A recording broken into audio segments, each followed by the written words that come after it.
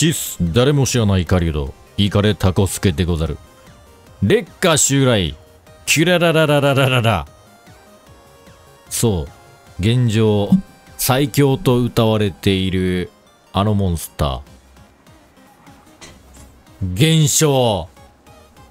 メルゼナさん。の。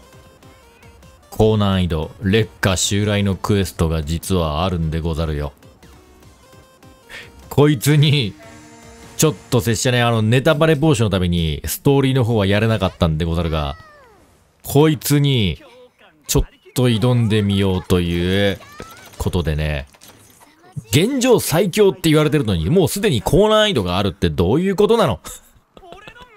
まあ、ただね、2回目ってことで盟友が連れてこれるので、この多多人数大家族で行こうと思うでござるよ。で、あの、さすがにね、強化を使ってしまうと強さがいまいち伝わりにくいんで、今回は強化は使っておらんでござるよ。ただしかしそれでも最強候補の性能を持ってるでござる。さあ見せてもらおうか。見せてもらうでござるよ。最強のメルゼナさんの性能とやらを。なあ、どうしようか。まずどうしようか。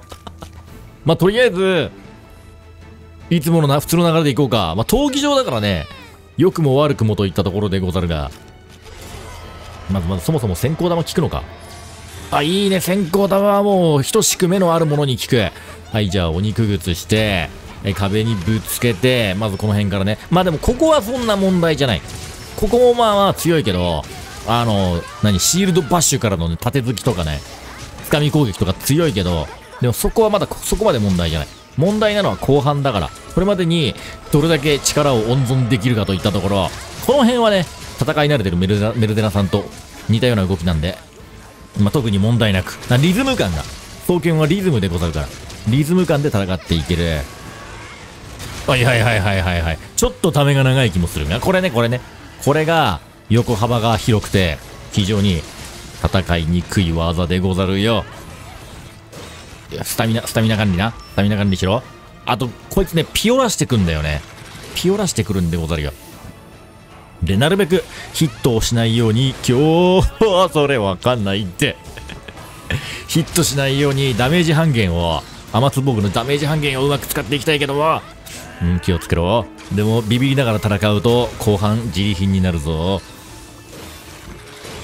いい範囲が広いこの辺はバルファルクを彷彿とさせるでござるな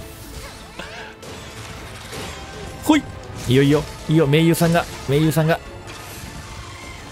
よし。盟友さんがターゲットを取ってくれて危なく。危ね。あのあれね多分あのバッシュが多分ね気絶値がめちゃくちゃ高いんでござるよ。よしよしよしよし。一方一方通行に出しよう。拙者のこのこの。よし。カウンターが光るでござるよ。はいはいはいはい。大丈夫よ。大丈夫よよく見てこっから一気に来るからね。ここから届くからねこいつね。恐ろしい。マジで動きとしてはバルファルクが追加されてるんだよな。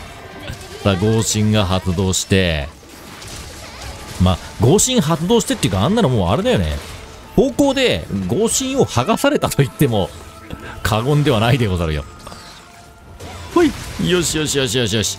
オッケーオッケーオッケーオッケーオッケー。オッケーオッケーオッケー。ちょっとカウンターに使いまくってるんで、螺旋山が使えないが、そしてここで、これは、これは、となんだっけ？名前忘れちゃった。なんだっけ？ケッキー。ケッキー。なんか新色みたいなそんな名前だ。あれだいだいだいだいだい危ない危ない危ない危ない危ない。ナイスナイス回復。ナイス回復よ。まだここは全然。うーかっこいいね。かっこいいね。よしよしよし、ここはもうガンガン削ってこう。ここはガンガン削ってこう。モーションは変わるけど、そこまで、そこまで怖くない。ここは。マジで黒くなってからが本編だから。オッケーオッケー。オッケー、ここでもきっちり稼いでいく。はあ。はい、どっこいしょ。どっこいしょ。いいよ。ガンガン。956ダメージって、こいつ体力いくつあるでござるか。体力果たしていくつあるでござるかよあとせいマジで使い慣れてない双剣以外だったらかなり厳しい気がするオッケーオッケーオッケーオッケーじゃないこれこれ黒くなった？あれ黒くなった？これこれ黒？いや、まだもう一段階あるこれ二段階目？これ二段階目かでも黒いな。危ねえ危ねえ危ねえ。お、ガンダムじゃねえんだぞ。ガンダムじゃねえんだ。おらおらおらおら。あ、でもなんか強化よりこっちの方が戦いやすいな。ダメージ量を考えるとな。あ、オッケーオッケー。まだあれ2段階目だったんだね。ってことはまだ3段階目が残っているといったところ、今のところ問題なく、いい感じに拙者のこのリズムもいい感じに回ってるでござるよ。じゃどこから、どこから、どこから来る？どこから来る？どこから来るんだ？ん？どこで、どこでお前は来るんだ？危ないよ。気をつけて。2段階目来るよ。お前さんはすぐにね、追い打ちをかけてくるってのは拙者も学んだでござるよ、散々。散々学んだ。よいしょ。1回目のバトルの時に、それで難落したのか。危ない危ない危ない危ない。よいしょよいしょよいしょ。はいはい、内側に入って、渦の内側に入っていく。うん、そしてここはカウンター、もう一発来る。ザーッとよしよしよしあ、強進か。まあしょうがない。壁際のあれ、もう押し付けられたら絶対逃げられんでござるよ。オーケーオーケーオーケー、大丈夫大丈夫大丈夫。いいよ。もう一回来るよ。大丈夫か？大丈夫か？だこいつ段階が多いから分かりやくそダメージでかい段階が多いから分かんないって。うわ、それ読めないんですよ。それがね、読めないんですよ。おいしょよいしょはい、オッケー。こいつで懐に入り。よいしそろそろか？ああ、もうビビってしまった。ビビってしまってはいけないよ。ああ、食らってしまった。避けらんない。くそー。来た来たかこれはまだでも2段階目か。うわやっぱり硬えな。よしよしよしよしよしよしよしよしよしよし。よしよしよしよしよし。よしよしよし。よしよし。いいよいいよ。いや、弱ってるね。疲れてるね。疲れてんな。ポリュって疲れるんだっけ？よしよしよしよしよし。ほいそれをメルゼノさんが何回も見せてくれてるけど、もう一回来てたね、今ね。危ないね。あー、ダメだ、見えない。危ねえ。モンスターハンターで培った真横に横切るというこの癖が、拙者の命を助けたでござるよ。危ねえ。もう一回だが、もう一回来るのか？何回来るのかもうわかんないよ。わからんでござるよ。よしよし、来たか？来たか？来たか？これか？これ2段階目、これ3段階目っぽい。オーラが違う。オーラが違うでござるよ。すごい激しい。ここ、空舞してる暇はない。空舞したら、空舞じゃねえや。なんだっけ、空中で攻撃出したらもうダメ。これなんだったらもうここの、鬼神、鬼人化してる時間もない。気をつけて。まだ来るよ。まだ来るよ。あ、くそ避けられない。わかんない。そのジャンプからの攻撃は。あ、あ、危ない危ない危ない危ない。危ない危ない危ないよしよしよしよしいいよいいよいいよいいよいいよ。なんかこれこれなんかなんかたまになる。これ麻痺みたいなのこれ何なんだろうね。侵食されて苦しんでんのか？あじゃあまだこれ最終段階じゃないか。まだ最終段階じゃない。いやもうこれは内側でしょう。うお前捕まった。おい空母を無視して捕まえてきやがった。助けて。助けて。すごいダメージ。すごいすごいガリガリ削られて赤ゲージもなかったな。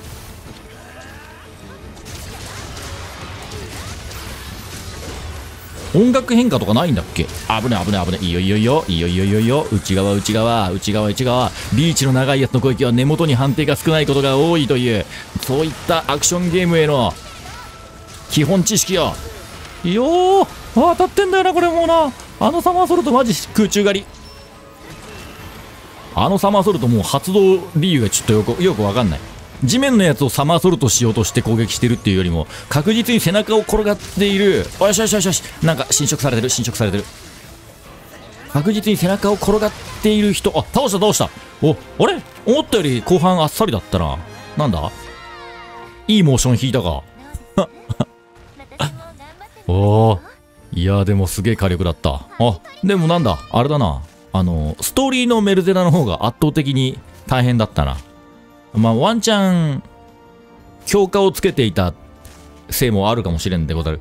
こいつなんかあの、赤ゲージなしの攻撃とか持ってたから、もしかしてそれでゴリゴリ削られていた？赤ゲージなしの攻撃とかあれもしかして赤ゲージ削られてた？わからんけどね。こいつ対強化の能力持ってんでござるか。双剣がめっぽう強いって言われてたこともあるかもしれんでござるが。で、こいつの動きってランサーなんだよね。言言うたらね、ランス使いなんですよ。まあ、もともとメルゼナの尻尾って、なんだっけ？なんだっけ？三股槍みたいなね、感じで言われててね。で、こいつ自身も騎士っぽいモンスターだから、まあ、ランサーみたいな動きをして、今回バッシュからの月で完全にランサーになったでござるな。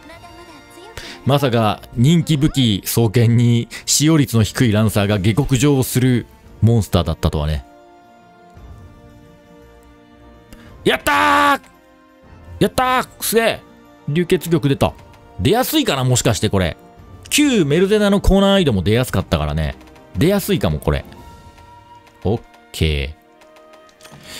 8分56秒。まあまあまあまあといったところでござろうか。